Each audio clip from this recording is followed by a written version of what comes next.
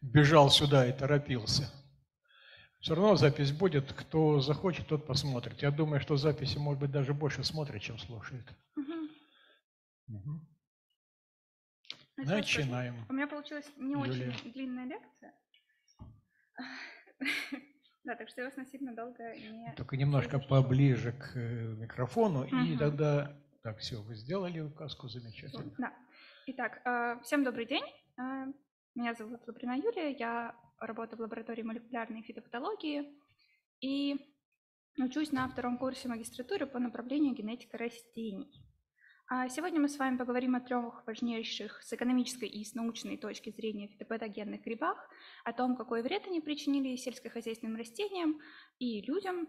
Э, так, начнем мы с вами с базового определения. Э, фитопатоген – это экологический фактор, обуславливающий болезни растений. И начнем мы с гриба фитофтора и фенснес. Э, это один из самых известных фитопатогенов во всем мире – он заражает растения и семейства посленовые, как правило, больше всего страдает картофель и томат.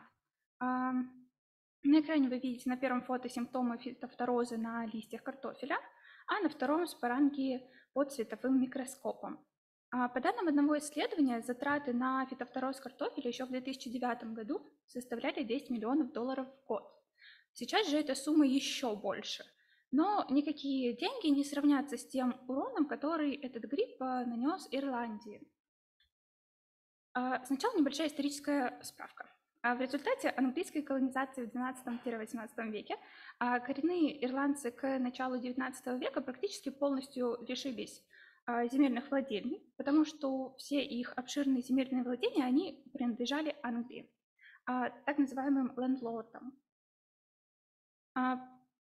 И они сдавали эту землю в аренду ирландцам, причем эта арендная ставка была настолько высокой, что большинство земледельцев жили в крайней нищете. А также э, Ирландия в 1840-х годах пережила аграрный переворот э, в результате отмены в Англии хлебных законов, а все большее количество крестьян стало выращивать не пшеницу, как раньше, а картофель, поскольку теперь это было более экономически выгодно. А как вообще картофель, а, картофель попал в Ирландию еще в 1990 году и завоевал популярность как продовольственная кормовая культура, поскольку он давал очень хороший урожай даже на неплодородных почвах, также он давал стабильный урожай на небольших участках земли. И к середине XIX века практически треть всех пахотных земель острова она была занята картофельными посадками – и при этом две трети этих посадков, они использовались на внутреннем рынке, а, в основном им питались э, бедняки, и для них это основа их рациона составляла картофель, приготовленный просто по разным рецептам. А, в Ирландии не раз случались неурожаи картофеля, и правительство всегда помогало пострадавшим. А если же на следующий год урожай был хорошим, то никаких проблем не возникало. Поэтому, когда в 1845 году случился очередной неурожай, особого беспокойства у британских э, властей поначалу это не вызвало. А причиной неурожая в 1845 году стало распространение фитофтороза, вызываемого фитофорой, фитофторой инфенсенс. А инфекция передается от растения к растению стоками воды, либо же при контакте зараженных частей растения со здоровыми э, частями растения. А также зараженные клубни, они начинают гнить прямо в земле, или уже после того, как э, картофель выкопали, в хранилищах мог э, начать гнить этот картофель и заражая даже здоровый картофель, который изначально был собран абсолютно нормальным. А кроме того, даже после уборки урожая споры возбудителя, они сохраняются в почве. А, все поля были засажены одним сортом картофеля. Это была, конечно, большая ошибка, но тогда еще никто не знал о том, что так нельзя делать. Они все были засажены ирландским ламбертом ламперном. А, так что пострадал практически весь урожай. Из-за отсутствия генетической изменчивости картофельные посадки стали а, восприимчивой популяцией для фитофторы, и а, фитофтора очень быстро стала распространяться по всей стране. А в следующем сезоне на посадку пришлось брать зараженные клубни или низкокачественный семенной картофель, который удалось сохранить. Но это вызвало только новые неурожаи. А правительство, конечно, стало оказывать а, помощь нуждающимся. А, Многим а, людям ничего не оставалось, кроме как пойти в работные дома, где они за тяжелый труд получали только в это место, где можно жить, и питание, но питание было очень плохим, как правило, его было мало, и очень многие люди стали болеть, и не всем удалось выжить в этих тяжелых условиях. А как фитофтора вообще попала в Ирландию? А, Современные ученые считают, что в 1845 году а, фитофтора пересекла Атлантический океан вместе с партией семенного картофеля, а, который отправили бельгийским фермерам. Это был новый и очень агрессивный штамм, который ученые позже называли херпан. А на слайде его перемещение обозначено красным цветом. Авторы статьи, иллюстрации которой вы видите на слайде, они сравнили геномы 11 гербарных образцов фитофторы того времени и 15 современных штаммов. И пришли к выводу, что эпидемия в XIX веке была вызвана уникальным штаммом херпан, который сохранялся более 50 лет. И этот штамм отличается от всех э, современных исследов... исследованных штаммов.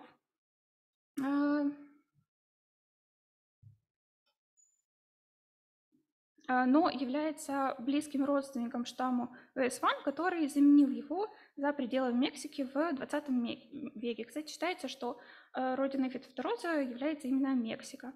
И авторы предполагают, что Херпан и US1 э, могли произойти от общего предка, который существовал за пределами Мексики в начале 1080-х годов. А, э, лендлорды британские, они начали а, взимать все большую арендную плату за свои земли в Ирландии, и многие арендаторы просто не смогли ее платить. А, тысячи людей лишились своих участков, а некоторых выселили лендлорды, некоторые просто бросили свои земли и попробовали переехать в другие места в поисках работы. С начала XVIII века поток ирландских иммигрантов в Великобританию и Америку не прекращался – но после голодной зимы 1845 года их число увеличилось в десятки раз. Причем их попытка переехать, э, она не была волшебной таблеткой, поскольку а, плыть нужно было на очень маленьких кораблях, которые раньше использовали для перевоза рабов.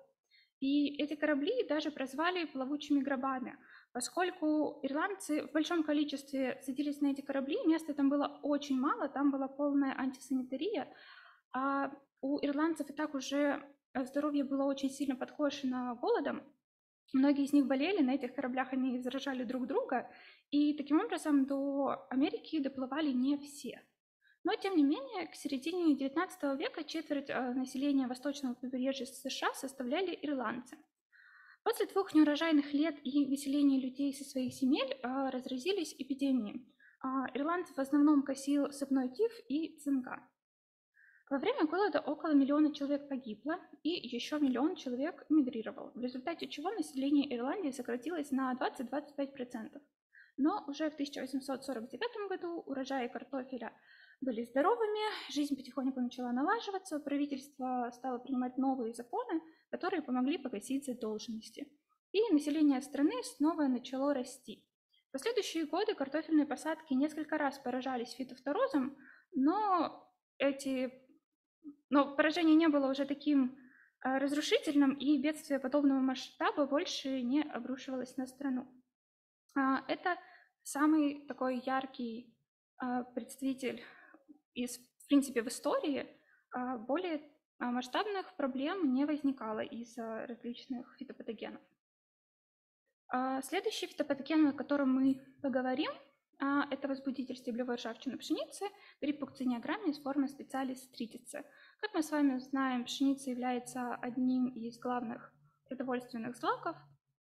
А, за последние два десятилетия а, заболевание, э, стеблевая ржавчина вошла в десятку заболеваний, которые отличаются а, экономической значимостью и высоким уровнем интереса для ученых, поскольку пуктинограмма форма специалистриtis является одним из самых опасных фитопатогенов э, южных регионов. При благоприятных условиях этот гриб может полностью уничтожить посевы пшеницы. А восприимчивые растения, как правило, погибают еще до стадии выхода колоса или формируют щуплое зерно, которое впоследствии нельзя использовать в пищу.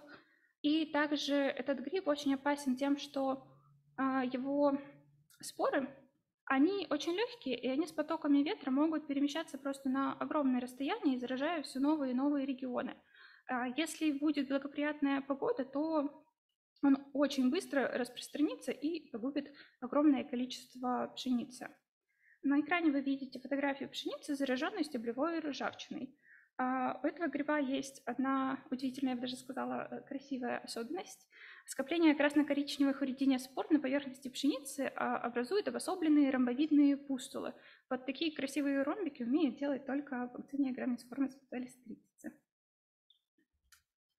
А, известно, что эпифитоти стеблевой ржавчины долгое время угрожали всему миру и уничтожали огромное количество посевов по всему миру, но благодаря селекции мягкой пшеницы на иммунитет в середине 20 века удалось вывести устойчивые сорта. И так ген устойчивости пшеницы к бухтинограмме специалистрицы, известный как SR31, в течение целых 30 лет защищал пшеницу от ржавчины – пока не возникла новая агрессивная раса в Уганде в 1999 году, которую впоследствии ученые так и назвали Уганда 99. А, появилась она здесь, в Уганде. И затем в 2002 году она была зафиксирована в Кении. А, и в Уганде, и в Кении Пуктиния грамминис уничтожила огромное количество посевов пшеницы, а Конечно, эти уничтожения не были такими страшными, как э, в предыдущей истории, но все равно они очень сильно повлияли как на экономику страны, так и на качество жизни людей в этих странах. И затем э, этот штамм обнаружили в 2003 году в Эфиопии.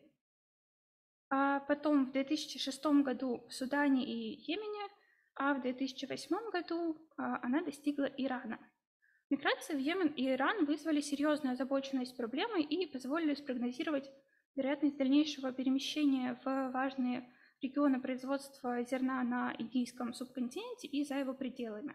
Ученые особенно боялись, что Уганда-99 сможет дойти до Азии, где выращивают огромное количество пшеницы. А ранее раса возбудителя полосатой ржавчины – а, также такой же последовательностью перемещались от а, экваториальной Африки к Индии, и это позволило ученым предположить, что вся площадь пшеницы в Азии может составить единую эпидемиологическую зону. В связи с этим в 2005 году Норманом Барлаугом была организована программа Barlau Global Rust Initiative, которая координирует исследования по ржавчинным болезням пшеницы – охватывая все аспекты проблемы. Это и мониторинг, мониторинг распространения и развития, а структуры популяции патогенов, селекцию на устойчивость с применением традиционных и биотехнологических методов, а в частности молекулярных маркеров, секвенирования и транслокации генов. И с 2008 года эта программа уже объединила более 2500 ученых в 35 международных институтах в 23 странах. А создав глобальное сообщество сотрудничества, объединенная мощь этих партнеров предотвратила катастрофические последствия эпидемии стеблевой ржавчины, которая поставила под угрозу одну из самых важных продовольственных культур человечества. И с момента ее запуска партнерские учреждения выпустили более 270 устойчивых ржавчине сортов пшеницы в 11 странах, находящихся в зоне риска. А, конечно, стеблевая ржавчина все еще Э, представляет опасность, и ее необходимо исследовать, постоянно проводить мониторинг, создавать новые устойчивые сорта. А, но в этот раз ученым удалось предотвратить катастрофу. Все закончилось довольно хорошо. А когда я готовилась к этой лекции, я нашла очень интересную, интересный обзор в журнале Molecular Plant Pathology. А целью этого обзора было опросить всех фитопатологов, связанных с этим журналом, их просили назвать по три фитопатогена, по их мнению, самых а, экономически значимых, либо представляющих высокий научный интерес. А в вопросе приняли участие 495 человек, и каждый должен был назвать по три гриба. В итоге получился список из вот таких 10 грибов, и, кстати, о которой мы только что поговорили, занимает почетное третье место. Ну а сейчас мы кратко поговорим о возбудителе перикулериоза гриба, перикулериоза риса, который занял первое место. А магнопорты ораниза является возбудителем перикулериоза, самого разрушительного заболевания риса во всем мире. А его важность подчеркивается тем фактом, что примерно половина населения мира использует рис в качестве основного источника калорий. Инфекции подвержены все ткани листвы, однако заражение метелки может привести к полной потере зерна. А типичные потери зерна составляют от 10 до 30%, хотя региональные эпидемии могут э, иметь разрушительные последствия, в результате которых будут разрушены почти все посадки.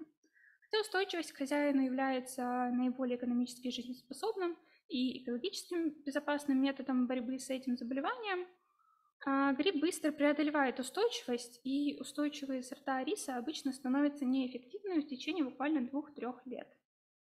А также этот гриб может вызывать заболевания других важнейших э, видов, это ячмень и пшеница.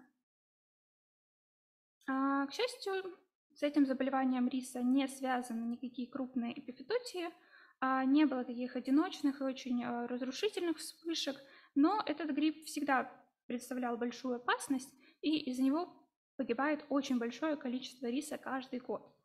А обычно потери урожая в год составляют от 10 до 30%. В целом эта цифра кажется не очень большим числом, но на слайде приведена карта а, сайта FAO, а, на которой показано производство риса за 2022 год.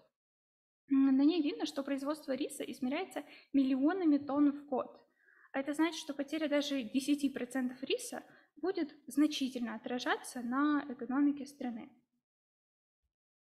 А, Фитопатогены представляли и все еще представляют большую угрозу сельскохозяйственным растениям. Необходимо постоянно проводить мониторинг новых рас, штаммов, видов фитопатогенов для быстрого реагирования. Необходимо постоянно создавать новые устойчивые сорта растений.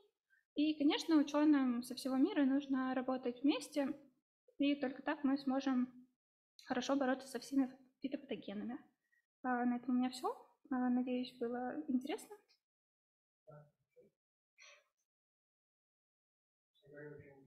Вообще э, как-то страшно стало. Правда, страшно все время. Не знаю, страшно стало или просто страшно. Вопросы, пожалуйста. Ну, если пока народ думает. А вот вы рассказывали про эту ситуацию страшную в Ирландии. Сказали, что лет за пять все-таки ситуация более-менее нормализовалась. Угу. одна из проблем то, что использовался один сорт картофеля, то есть э, если появился штамм, который эффективно на нем размножается, то да. это тоже произошел. А каким образом за пять лет более-менее нормализовалась ситуация? Сменили сорт картофеля или что? А, ну, там, скорее всего, ситуация была... Да, происходила смена сорта, но там еще в основном было дело в том, что а, очень много вот этой фитофторы просто погибло, потому что ей уже просто нечего было заражать, некуда было деваться, она а, то есть погибала. Перестали вы сажать картофель в этих зонах? Его высаживали просто уже в меньшем количестве. Ну, то есть, нет, просто если высаживали в тех же местах, то он все равно же, там, как вы говорили, гриб же сохраняется в почве какое-то Да. время, поэтому заражает все равно картофель. Ну, То есть смена сорта и сокращение площадей посадок, Да. да? Получилось. Понятно? Пожалуйста.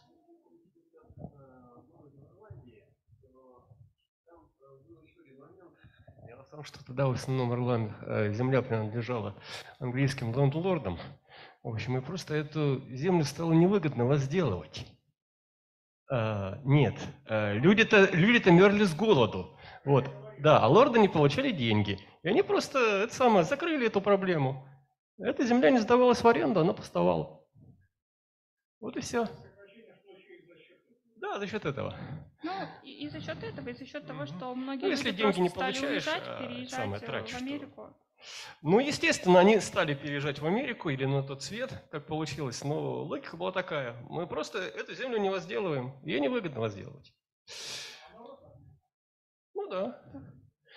Э, Вот. А вопрос вот у меня еще какой. Это вот сейчас необходимо постоянно создавать новые устойчивые сорта, потому что, например, э, в Китае обратно перейти э, с риса на суходольный опрос совершенно невозможно.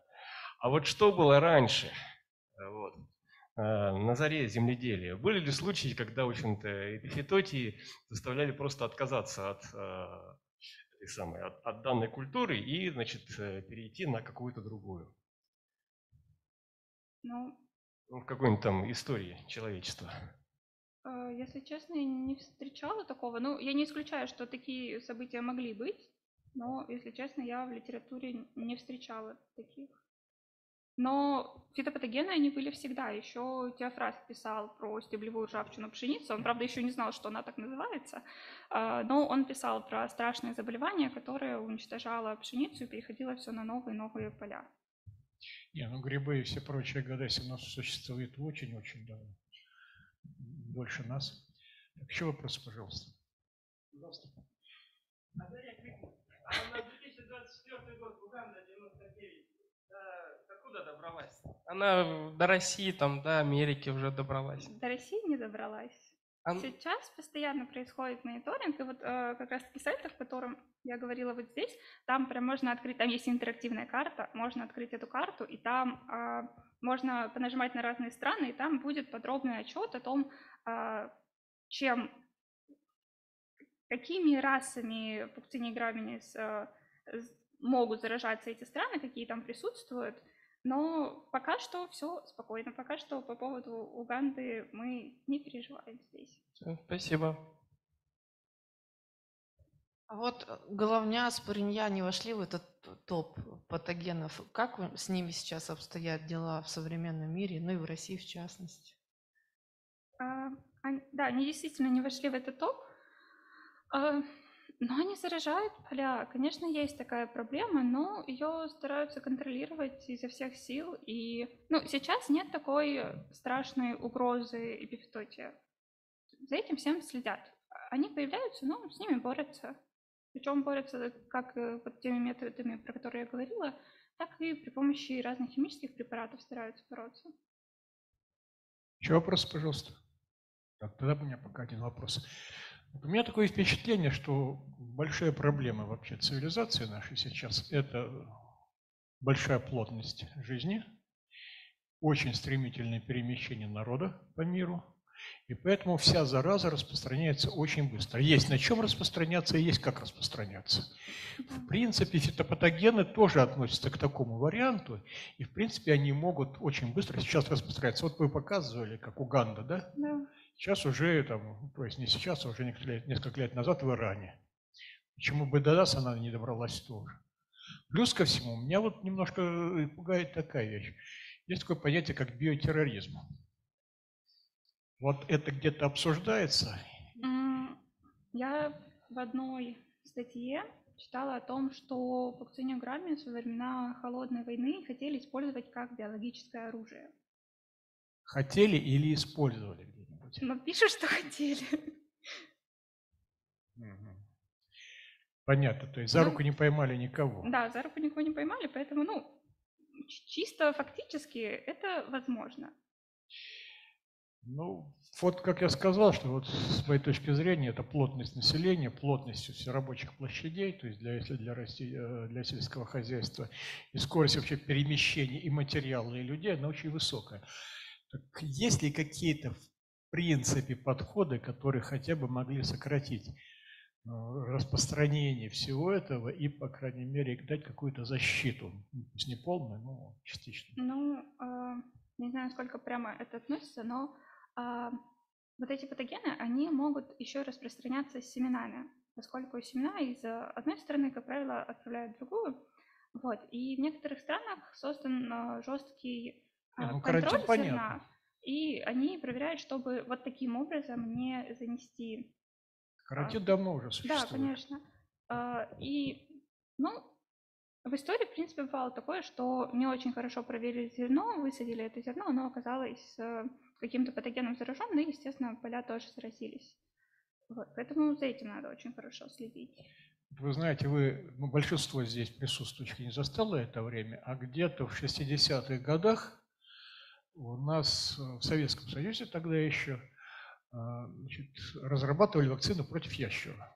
Ну, это вирус крупнорогатого скота, который вообще приносил огромные убытки. Плюс ко всему, если эпидемия ящ... Э, ящера возникала, то все, ставили границы, за границу уже не продашь ничего.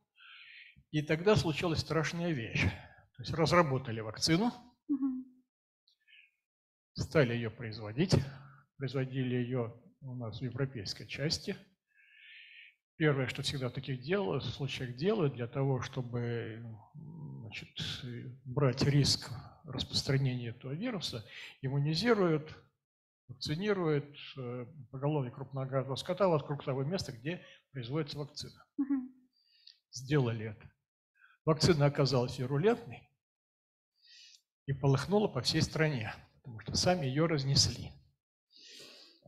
А, насколько я понимаю, если говорить про, питог... про фитопатогены, то никаких-то вот таких ни вакцин, ничего, никаких препаратов, основанных на чем-то, что используют сами фитопатогены, нет. Такого риска, в принципе, не существует. Ну, такого нет. То есть э, есть э, препараты, которые основаны на хитозане, которые как бы вызывают иммунную реакцию у растений, но они безопасны для этих растений. Они просто ну, есть, как бы, иммунный ответ вызывают, и растение уже, как бы, получается, предварительно защитилось, когда на него уже попал какой-то фитопатоген. Но самого но... патогена там нет, естественно. Да, да. Еще вопрос, пожалуйста. А тогда у меня еще один вопрос. А вот не кажется вам, что одна из проблем, которая здесь возникает, связана с тем, что какой сорт используют? Самый эффективный. Конечно. То есть вообще вот если так рассматривать, то для э, хозяйств характерно использовать что-то одинаковое, наиболее эффективное. Это приводит к тому, что используются на больших площадях одни и те же сорта, которые на самом деле будут все, ну, то есть все эти посадки будут чувствительны к одному и тому же варианту патогена. И если вдруг он приходит, вообще наступает катастрофа. Ну или близко к этому. А не имеет ли смысла, так скажем, просто ввести какие-то правила для того, чтобы а, размечать посадки так, чтобы были различные сорта с различными устойчивостями? Сейчас все-таки это тоже можно Конечно. проверять. И вообще контролировать вот эти варианты. Конечно, было бы очень хорошо, если были такие законы, это бы в значительной степени... Это как-то хотя бы обсуждается?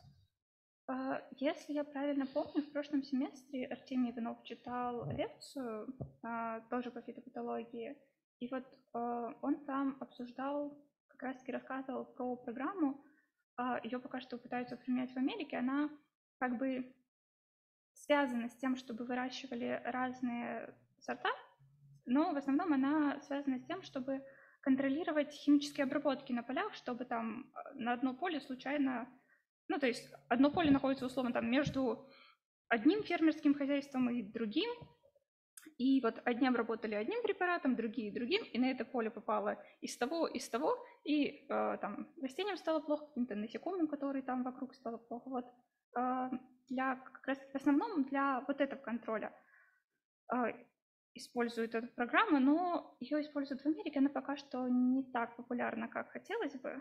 Конечно, хотелось бы, чтобы во всем мире это контролировалось на законодательном уровне. Нет, то есть разумный подход пока не победил. Ну, Желание заработать больше. Конечно, об этом многие задумываются, но, к сожалению, не все.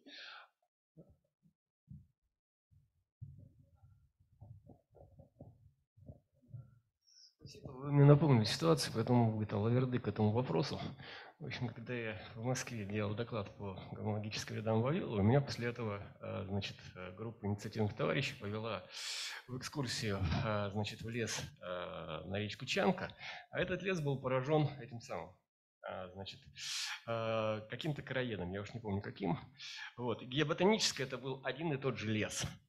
Вот. Но очень четко вот выделялись куски, которые были не поражены или поражены значит, в меньшей степени.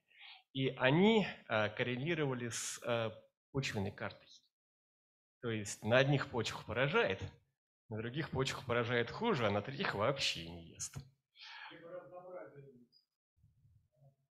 тоже может вариант. Вот, поэтому, когда вы говорили про одно и то же, вот, я еще хотел бы спросить, а одно и то же это на почву распространяется?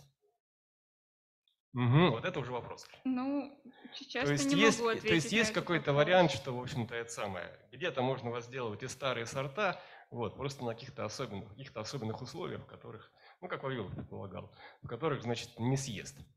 Ну, я думаю, это, конечно, возможно. Но вот, честно, не могу дать точный ответ на этот вопрос, потому что я нигде про почву не встречала информацию. Ну, и, в принципе, вот микроклимат. Ну вот я, к сожалению, с, с растениеводством и сельским хозяйством совсем никак не связан. Поэтому все, что я задаю, наверное, воп- вопросы выглядит немножко странно, может быть, предельно наивно. Но мне казалось всегда, что есть... Сначала была двухполе, потом трехполе и так далее. То есть идея была такая, что на одном и том же поле в, общем, в разные года сажать нужно разные вещи. И, в принципе, если вот, так скажем, даже вы заносите какого-то, какой-то фи- фитопатоген, как вот вы рассказывали, за несколько лет даже то, что попало в почву, может уже погибнуть, и следующие посадки там через 3, 4, 5 лет, они могут уже пойти нормально. А вот это как-то, так скажем, реализуется ну, на практике сельского Да, хозяйства? конечно, это называется севооборот. И Да, да, да. конечно, его активно используют в сельском хозяйстве, да. Вот у меня такое впечатление, конечно, опять же, вот едешь по каким-то местам, годами ездишь, там вроде все время одно и то же примерно посажено. Ну, во всяком случае, говорят, что используют, что в реальности происходит. Но, к А кто- сожалению, нельзя. А кто знает, действительно, о, вы знаете, да?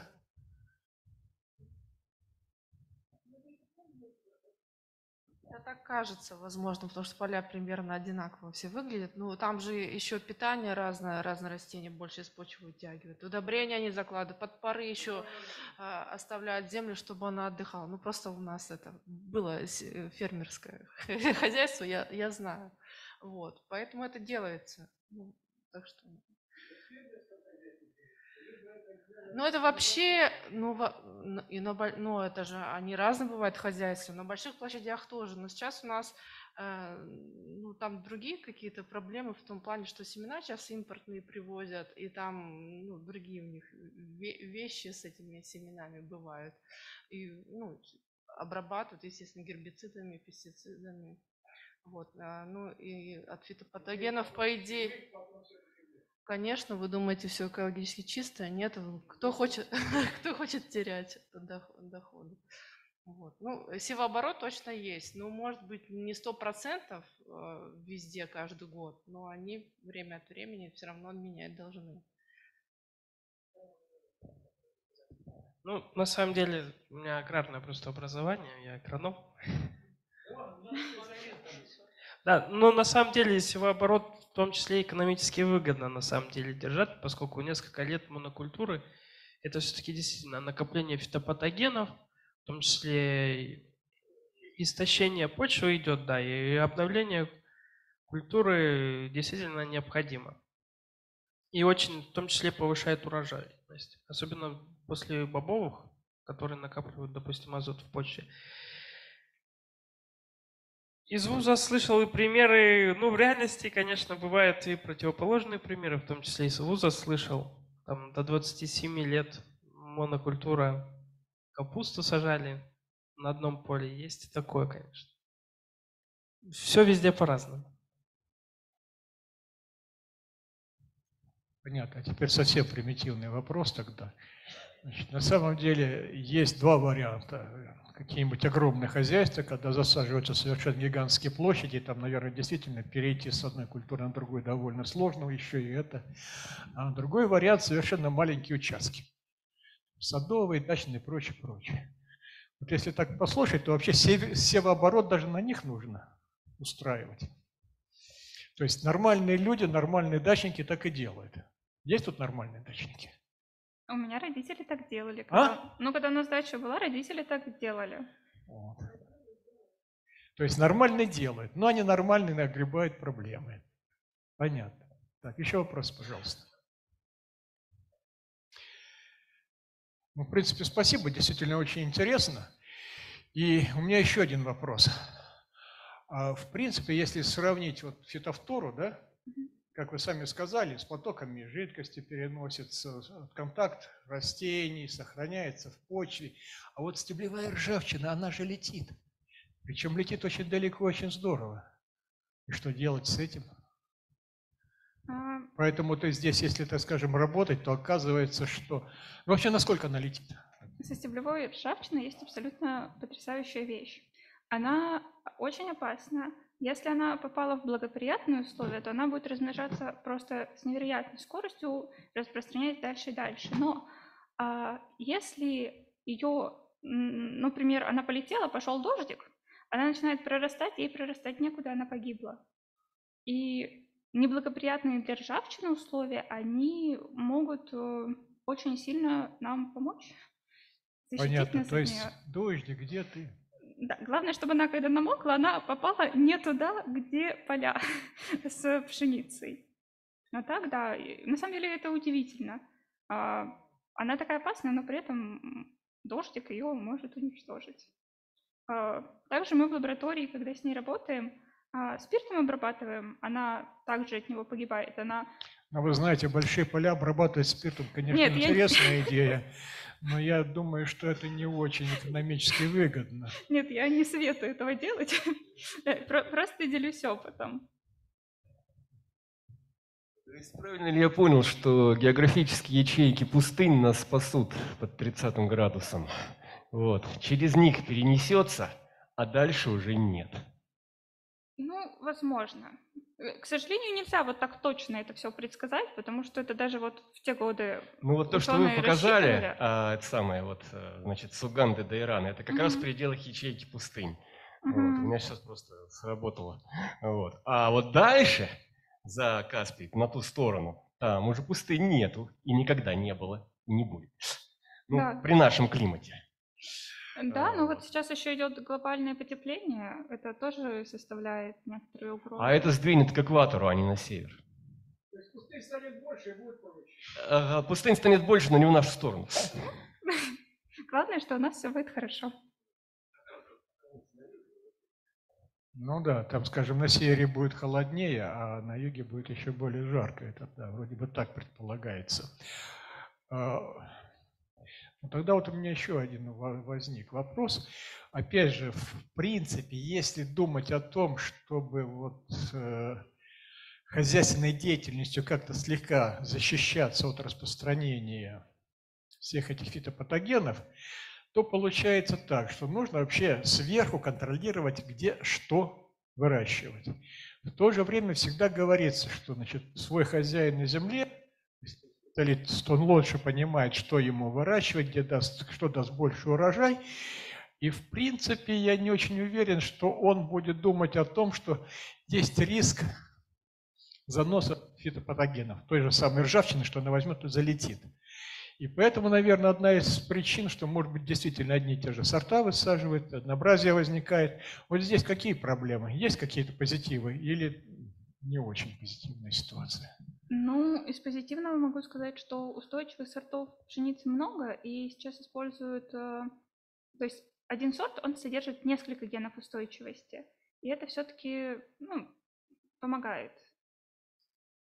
Ну, то есть при селекции, при выведении новых сортов учитывают, пытаются сделать наиболее устойчивые сорта. Ну, это- Конечно, надо, это чтобы они были- естественная вещь. да, Помимо того, что устойчивый, надо еще, чтобы как бы и урожай хороший был, чтобы зерно крупное было, чтобы его там обмолачивать легко было.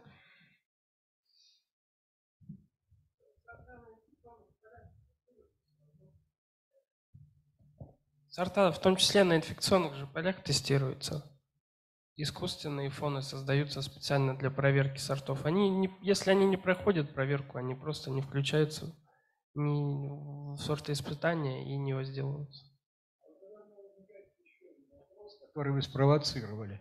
Было сказано, что у нас в основном все, э, все весь семенной материал – это привозной. М, нет. Или если не весь, но то в значительной части. Нет? Нет, нет, нет, нет.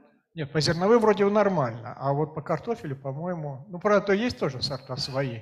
Но вообще какая доля сейчас вот своей, своих сортов и чужих? Ну, когда мы на самом деле ну, просто покупаем. Мы можем, конечно, выбирать, что покупаем.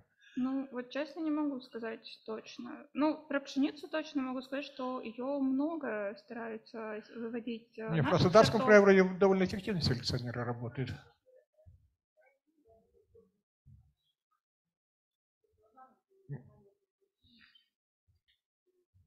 Ну да, попробуй нас вырасти зимой, да?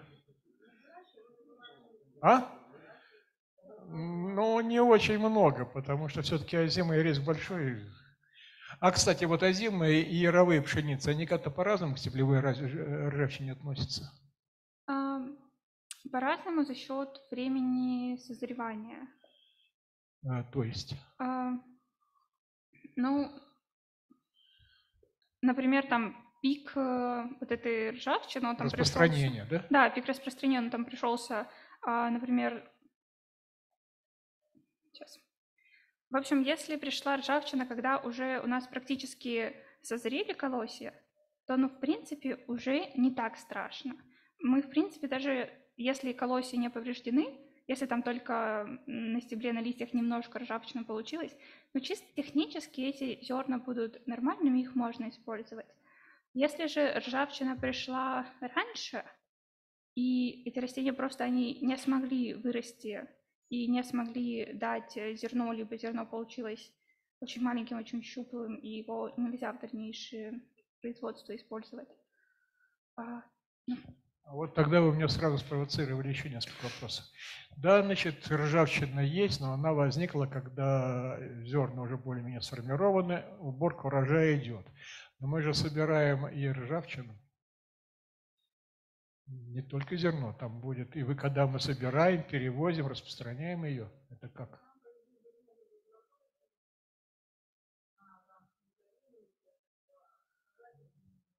ну, по-хорошему, ну, по-хорошему должно тестировать. А не по-хорошему, а как на самом деле? Ну, Ну, тогда, тогда мы сами его и развозим, на самом деле. Нет, ну не на семена, но все Ну. равно ве- ве- везем же куда-то. А какая ржавчина на семенах может быть? Нет, в плане не сама, в плане, в плане споры, да, да, споры от растений, они летели, когда собирали, обмалывали споры, они начали разлетаться и как Так бы они всюду на летят. зерне Они, остались они просто не лежать. растут на, на семенах, но, но все равно прихватываешь невольно. О, они могут перейти в телеофазу. И вот в таком формате они зиму спокойно могут где-то пережить, перележать в, в том же сене убранном. И как только появятся благоприятные условия, станет тепло, они будут прорастать, ну и дальше. Не, ну споры устойчивы, они довольно здорово хранятся. Иначе бы, так скажем, не было бы такой опасности.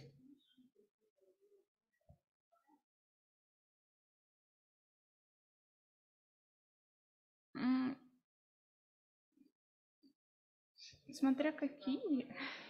А вот это вопрос, который у меня возникал, вы его, опять же, так скажем, по сути дела, подтолкнули, который я хотел задать.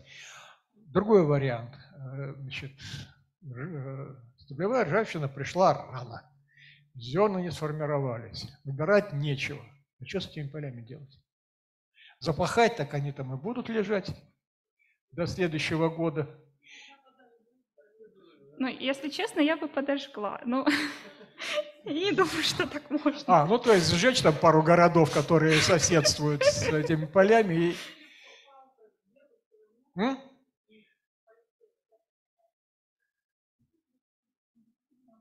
Да, конечно. Химическая обработка, да. Химическая обработка, Да. да, в основном. Я думаю, да. Я думаю, вот даже на том сайте, про который я говорила, там есть, в принципе, а, ну, список э, того, что можно делать, если вы увидели заражение. Я думаю, там это прописано.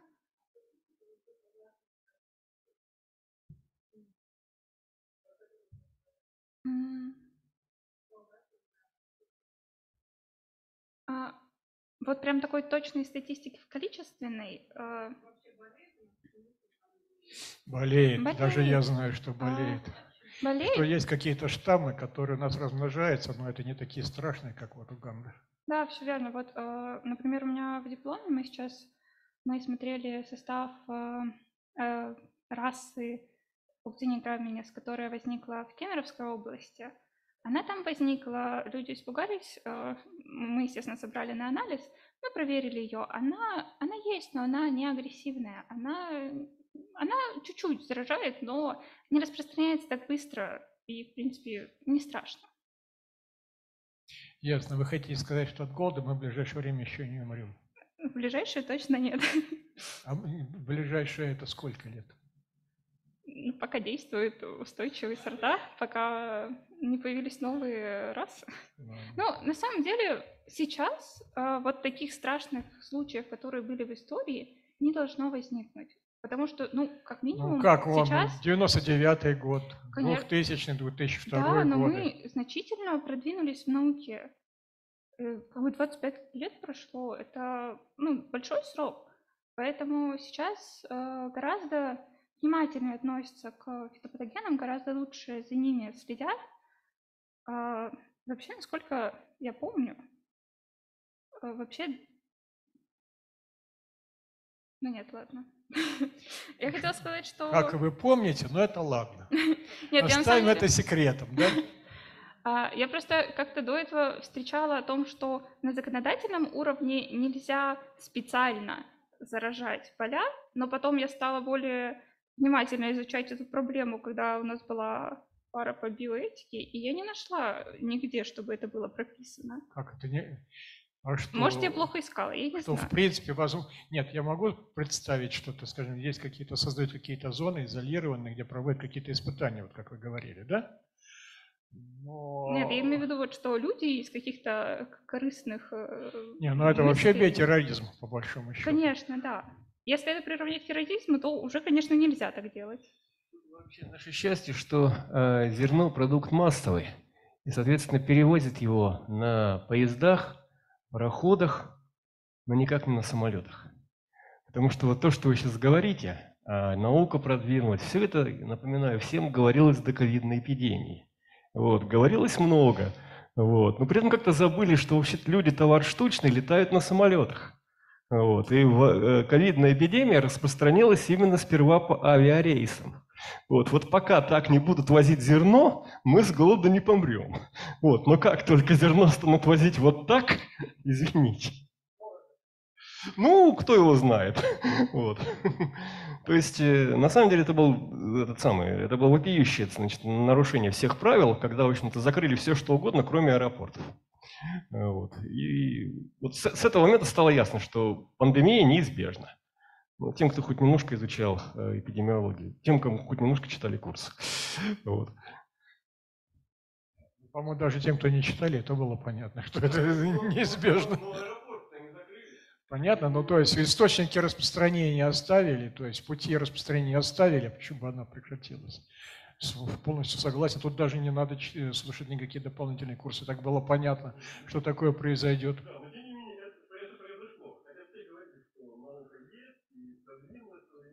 Это вы к вопросу о том, что с, фитоген- с фитопатогенами также будет?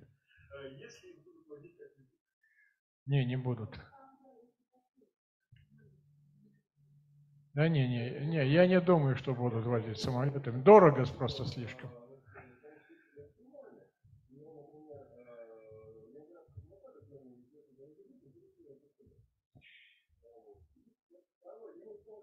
Там просто другие пути были перерезаны, поэтому и возили. Нет, я даже не исключаю, что если у вас нет какой-то жуткий голос, какой-то локальный, тогда, может быть, срочно нужно будет что-то забросить. Такое может случиться, конечно.